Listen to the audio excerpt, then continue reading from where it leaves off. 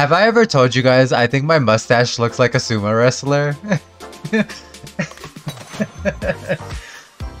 Listen, that's not gonna make sense to you, but if I if I draw it for you, these are the legs, right? And they even kind of go out to make like little feetsies down here. And then these are arms. And then like my lips are kind of like the belly. Do you see it? it just looks so weird. At first I was like, it kind of looks like someone twerking. I've never seen a mustache look this weird, but you know what? I'm embracing it.